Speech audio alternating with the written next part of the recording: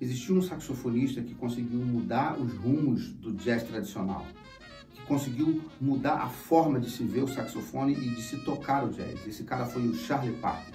Charlie Parker foi alguém que mudou toda aquela estrutura da sua época e a forma de se ver a música e a forma de se tocar o jazz, de se tocar o saxofone. Nesse curso, a gente oferece um estudo onde a gente pratica com você, executa com você as músicas, algumas músicas do Omnibook. O Omnibook é um livro que tem as principais músicas do Charlie Parker.